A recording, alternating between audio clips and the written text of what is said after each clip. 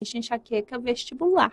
Nessa enxaqueca, a circuitaria cerebral e, e vascular, né, e tudo que é ativada ali, envolve os circuitos do sistema vestibular. Vamos traduzir esses termos técnicos, né? Uhum. Então, o labirinto, ele está no ouvido, que está aqui, tipo, incrustado nesse osso aqui atrás da nossa orelha, né?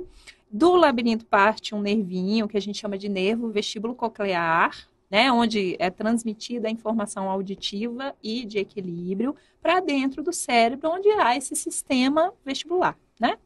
Na hum. enxaqueca vestibular, os circuitos ali cerebrais, especialmente do tronco encefálico, que tem. Uhum. O tronco encefálico é, é, é o tronco da árvore mesmo, né? Então, uhum. imagina o nosso cérebro como se fosse uma grande árvore, tudo se agrupa, todos esses nervos se agrupam e passam pelo tronco encefálico. No tronco tem as estruturas lá que vão movimentar o nosso corpo, mas tem vários núcleos né, de nervos cranianos que têm funções específicas. Um dos núcleos é o núcleo do nervo vestibular. Certo. Então, toda essa circuitaria de coordenação motora, de equilíbrio e tudo passa aí no tronco encefálico. Mas também no tronco encefálico nós temos vários é, núcleos né, envolvidos com a circuitaria da enxaqueca, com a, com a geração da dor, né?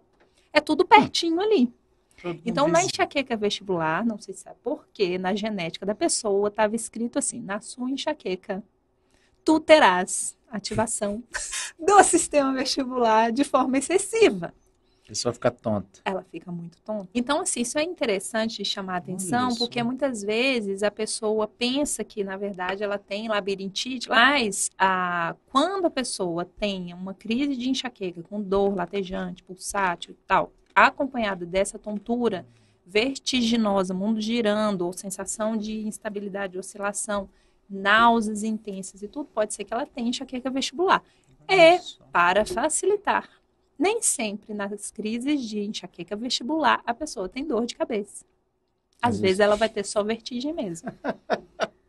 Então até leva um tempo para fechar o diagnóstico. Porque às vezes a pessoa tem a crise de, de, de tontura que dura ali alguns minutos, né? Até uma uhum. hora e tudo mais. E não tem a dor, mas um belo dia ela tem essa vertigem com a dor característica, pulsátil, latejante, etc. E aí acaba, né, com o tempo fechando esse diagnóstico. Isso é importante porque o tratamento, né, pode mudar um pouquinho. Tem alguns medicamentos que funcionam melhor para esse tipo de, de dor, né?